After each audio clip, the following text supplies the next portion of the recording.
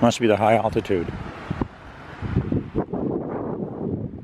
Anyway, that's not the, an original antique historic uh, covered bridge. Maybe all these timbers down here from the original one.